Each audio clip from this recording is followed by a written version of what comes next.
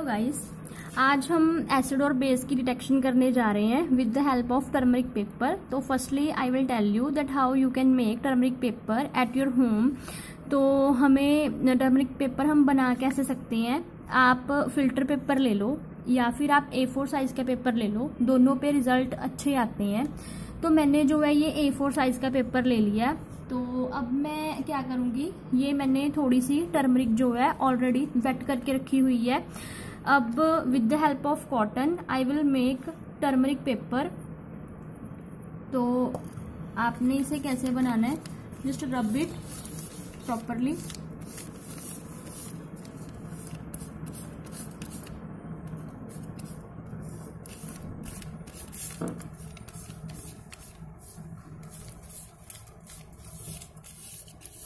तो रब करने के बाद जब हम टर्मरिक इसके ऊपर रब करेंगे प्रॉपरली तो इसे थोड़ी देर हम ड्राई करने के लिए छोड़ेंगे।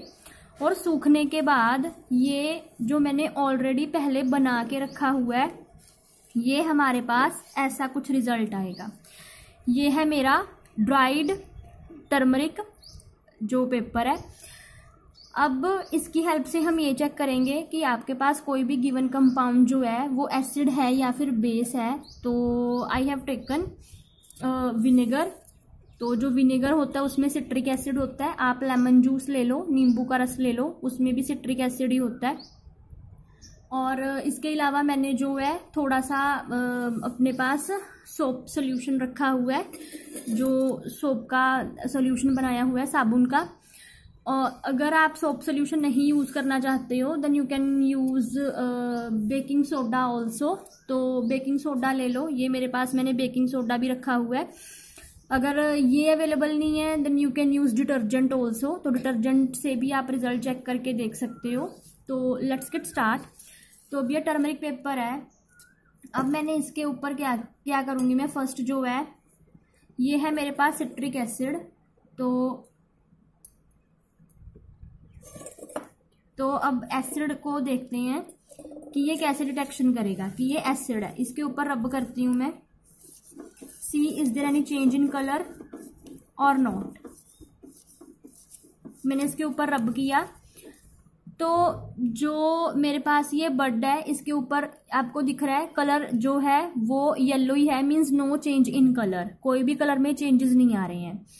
अब नेक्स्ट जो है, ऐसे करते हैं, कोई बेस ले लेते हैं।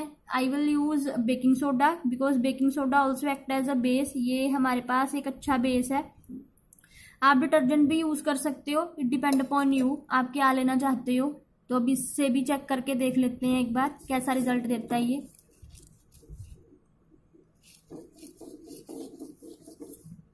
सी इसे रब करने पे मेरे पास रेड कलर की जो फॉर्मेशन है, वो हो रही है। रेड कलर की फॉर्मेशन हो रही है। तो इट मीन्स जो टर्मरिक है, वो बेस को रेड कलर देता है और जो एसिड है, उसके कलर में कोई भी चेंजेस नहीं आते हैं। I also want show you in solution form ये तो हमने पेपर की फॉर्म में चेक कर लिया। मैं सोल्यूशन की फॉर्म में भी आपको दिखाना चाहती हूँ। I have taken baking soda तो अब मैं थोड़ा सा वाटर ऐड कर देती हूँ। For the formation of its solution कि इसका सॉल्यूशन जो है, उसकी फॉर्मेशन हो जाए। Now I will add little amount of turmeric थोड़ा सा मैं टर्मरिक डाल देती हूँ। देखो। टर्मरिक ऐड करने के बाद इसका कलर क्या हो गया है? इसका कलर जो है वो, इसका कलर जो है वो येलो से रेड हो गया है। तो ये रेड कलर जो है, वो ये शो कर रहा है कि ये बेस है। सी आप सोल्यूशन फॉर्म में करके देखोगे तो भी सेम रिज़ल्ट आएगा। आप with the help of paper करोगे तो भी सेम रिज़ल्ट आएगा। Thank you and please keep supporting my channel also